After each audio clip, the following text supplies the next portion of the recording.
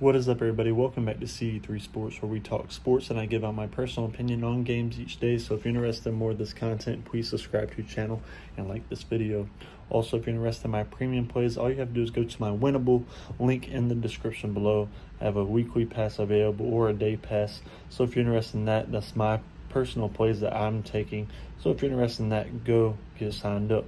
But let's get this NHL matchup tonight between the Montreal Canadiens and Toronto Maple Leafs at Montreal in this game, but Montreal is still kind of the same team they were last year. Only added one addition, really, and that was Laine.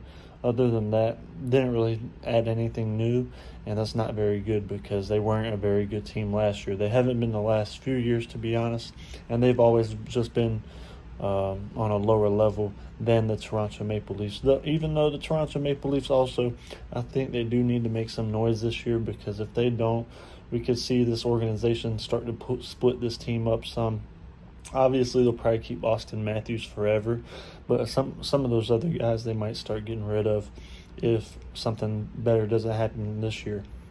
I know this is on the road for Toronto, but like I said, I think they're just the better team here. And on opening night, um, I think they're going to come out flying like they usually do, high scoring team. So in this one, give me the Toronto Maple Leafs. That's going to be my free pick. If you're interested in more of this content, please subscribe to the channel and like this video.